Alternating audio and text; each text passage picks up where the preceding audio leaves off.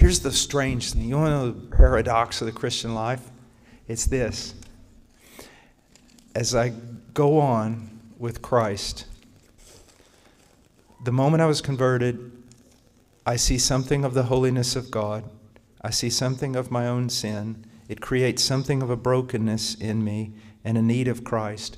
But it's not a brokenness unto despair because I see Christ and He supplies my needs.